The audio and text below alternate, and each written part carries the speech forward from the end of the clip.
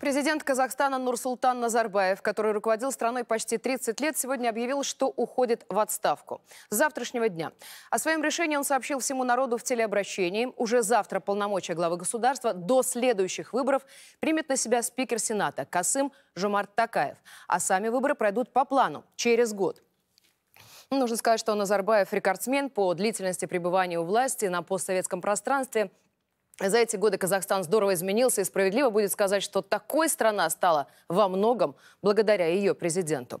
Юрий Липатов продолжит. Во вторник утром пресс-служба президента Казахстана анонсировала выступление Нурсултана Назарбаева в эфире главных национальных телеканалов, назвав его обращением к народу Казахстана. Тема обращения, как оказалось, сложение полномочий главы государства. Наступил момент для подписания мной соответствующего указа.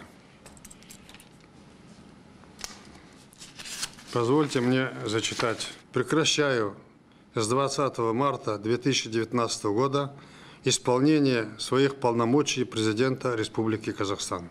Полномочия президента Республики Казахстан на оставшийся срок переходят к председателю Сената парламента Республики Казахстан. Это мой последний указ в качестве президента.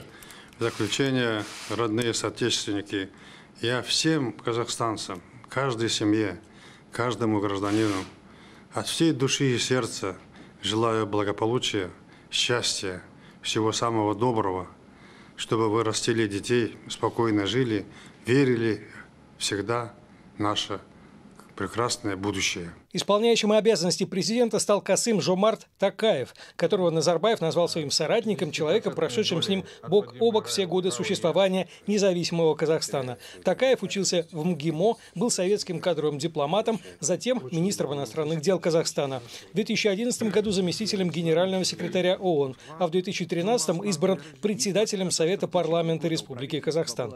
Я хорошо его знаю. Он человек честный, ответственный, обязательный, поддерживает всесило проводимую политику внутри страны и вовне. Все программы разрабатывались и принимались его участием. Я верю, что Токаев именно тот человек, кому мы можем доверить управления сегодня Казахстаном. Согласно указу, подписанному Назарбаевым, Касым Жомарт Такаев в качестве временно исполняющего обязанности президента примет присягу во время совместного заседания Палат парламента, которое пройдет уже завтра, 20 марта. Ушедший со своего поста Нурсултан Назарбаев бессменно возглавлял Казахстан с 1990 года. В 2007 году парламент предоставил ему, как первому президенту, право баллотироваться на высший государственный пост неограниченное количество раз. В последний раз он победил на выборах в апреле апреля 2015 набрав почти 98% голосов избирателей. Срок его президентских полномочий истекал в 2020 -м. Дорогие соотечественники, мы все видим, что мир меняется, не стоит на месте.